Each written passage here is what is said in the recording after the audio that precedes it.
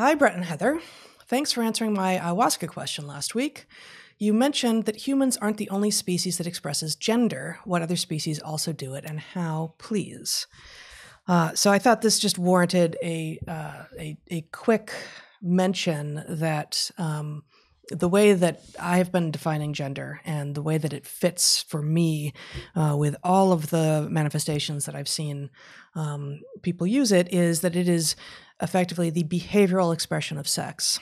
And that in every animal that's non human, and all the non human animals, um, that what we call that is sex role.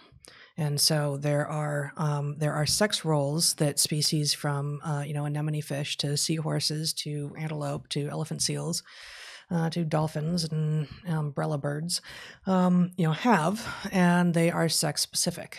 Uh, so um, we don't call it gender in other species, uh, but it is it is if it if if gender is the behavioral expression of sex, uh, then uh, then you're going to have um, you're going to have that happen anytime you've got um, behavior, which is certainly all mammals and birds and uh, probably all vertebrates and a tremendous number of inverts as well, tremendous number of insects. So I would, um, I have been defining gender differently. I've said it is the software of sex, in which mm-hmm. case mm-hmm. gender will be found in um, birds and mammals to a substantial degree, um, but a, but differing degrees within those clades, and not much found outside of them. So I guess there's a question about which definition of gender we're going with. Now, I think that's I mean that's that's interesting because those um, I like both of those definitions.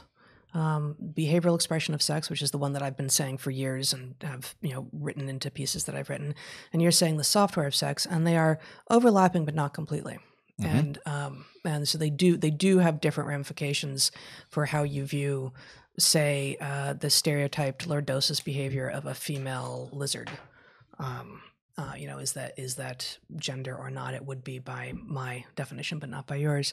Um, but it but the overlap, I think, is um, pretty much perfect when it comes to humans. Like we, oh, we have, right. we have they no converge. no variance at so, all. So just so people know why we're the difference is immense between these two definitions because yeah. most um, critters will not have gender because most critters don't meet their parents, and therefore, whatever um, sex role they have will be programmed in at a genetic level. If behavior is stereotyped, um, then it doesn't count um, as gender by your definition. Right. And so yep. the point about it being, you know, if you accept that it is the software of sex, then the point is software is vastly more flexible than hardware you know, in a lizard that doesn't meet its parents and exhibits the stereotyped behaviors, um, you know, there isn't a lot of flexibility because in order for the creature to be functional, that stuff had to be written in. And the fact that it is written in is amazing in so many creatures. But um, but the vast majority will have nothing that we would call